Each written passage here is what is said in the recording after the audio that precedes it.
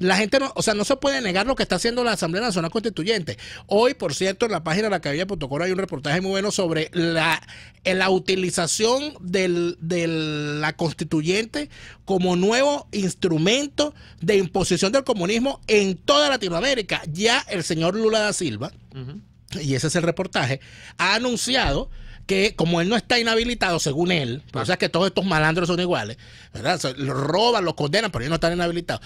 Él dice que él no está inhabilitado y que por lo tanto él va a ser candidato presidencial otra vez. Y que su propuesta fundamental es una constituyente. O sea, Lula está planteando una constituyente para Brasil y que esa constituyente va a buscar que sean irreversibles las conquistas hechas durante su gobierno y echar para atrás todo lo que ha hecho Temer. Es decir, me imagino yo que una conquista del comunismo, del neocomunismo brasileño eh, eh, eh, representado en lo que fue Lula da Silva fue la corrupción de Odebrecht. O sea, la corrupción, la corrupción de Odebrecht es un logro del neocomunismo, del, sello de fábrica del neocastrismo, por supuesto. Entonces él quiere revertir todo lo que se ha hecho. Es decir, él quiere revertir los juicios. Él quiere revertir la, eh, confiscación de los bienes de los delincuentes. Él quiere revertir los juicios contra Odebrecht y quiere revertir todas esas cosas. ¿Y cómo lo, plantea hacer? A través de una constituyente. Entonces aquí se ha convertido la constituyente en un producto de exportación del castrismo eh, nacional llamado chavismo. De la misma manera, el señor este, eh, el boliviano, Evo Morales, está planteando unas reformas de fondo burlándose, utilizando argumentos paralegales y utilizando subterfugios constitucionales para burlarse de la voluntad popular. El señor eh, Lenín Moreno de Ecuador está planteando hacerle un cambio a la constitución para eliminar la reelección indefinida, pero eso no lo está haciendo él porque él sea demócrata, lo está haciendo porque está en una guerra interna contra el que fue su predecesor, que fue eh, eh, el, el expresidente Correa.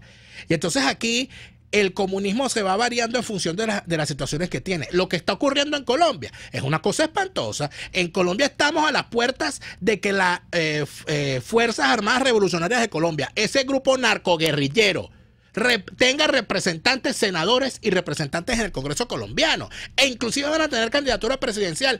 Y ya se ha lanzado la candidatura de Piedad Córdoba que todavía no se ha anunciado si va a ser apoyada por estos tipos, pero evidentemente estamos jugando a lo mismo. Cuando uno defiende la revolución, cuando uno está convencido de que realmente nuestra razón de ser en la vida, en la política es servir, si nos toca hacer colas, las hacemos y las hacemos con gusto, porque se trata precisamente de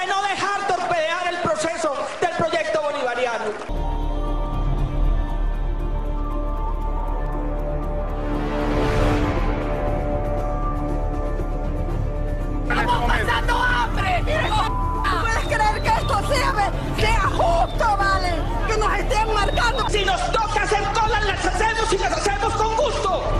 Si nos toca hacer colas, las hacemos y las hacemos con gusto. Tenemos rato buscando comida y no hay nada.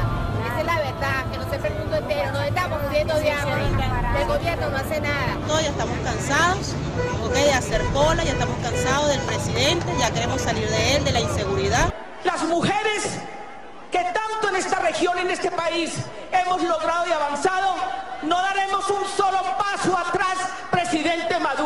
Nadie niega lo que estamos atravesando en Venezuela, pero ¿cómo ocultar que estas políticas ah, sociales que ha venido implementando, que ha continuado el gobierno, han sido muy exitosas también? La misión vivienda, Mira, y todas las políticas sociales para atender a las clases más necesitadas, cosas que no existen en Estados Unidos, mucho menos en España. Allá no existen hospitales públicos. Allá si no, si tú no tienes un seguro, podrías morirte muy democráticamente y libremente en las calles del sueño americano. Pero es una realidad, Fraso, Ana, que Venezuela, pese a todas las la situación sobrevenida por la caída de los precios del petróleo, por la crisis, realmente el fracaso del sistema capitalista rentista, no el socialista precisamente, que es lo que está por construir.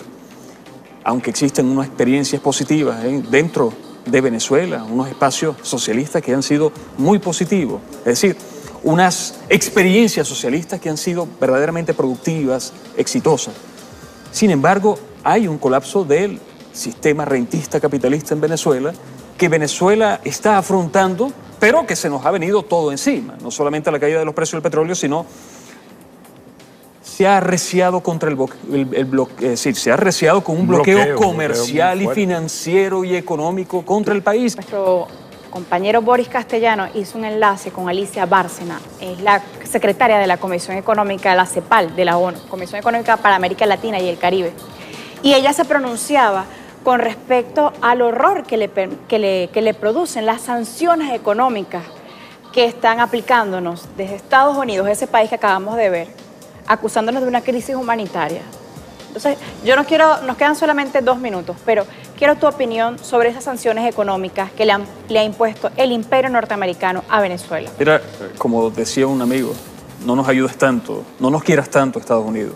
Ellos dicen que son unos buenos vecinos y están intercediendo en Venezuela para apoyar al pueblo venezolano, pero por otro lado nos cuartan, nos, nos cuartan, perdón, las posibilidades de acceso a alimentos y medicina, cosa que constituye una flagrante violación a la Declaración Universal de los Derechos Humanos, al derecho internacional, pero a la Declaración Universal de los Derechos Humanos, cosa que constituye un crimen de lesa humanidad, no solamente por parte de Estados Unidos, que es algo ya común en su política exterior, sino inclusive de sus lacayos internos, de sus mercenarios políticos internos, sus voceros en Primero Justicia y Voluntad Popular, Julio Borges, Freddy Guevara, entre otros, que sí, se están prestando a este juego, que están no solamente traicionando a la patria, sino que están violando los derechos humanos del pueblo de Venezuela, su posibilidad de acceso a alimentos y medicina, que repito, ah, debe ser penado.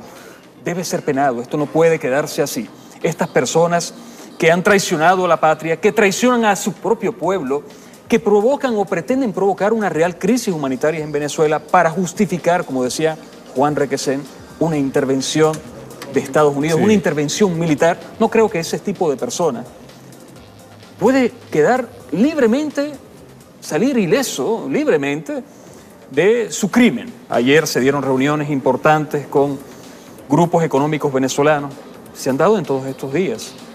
Ah, con países, ahora el presidente Nicolás Maduro tendrá una gira que pasará por Rusia y otros países China, un aliado estratégico de Venezuela, la primera potencia económica mundial cuya moneda sí es realmente respaldada en oro y en la productividad de ese país, de esa gran potencia económica y comercial reconocida por el Fondo Monetario Internacional, por el Banco Mundial.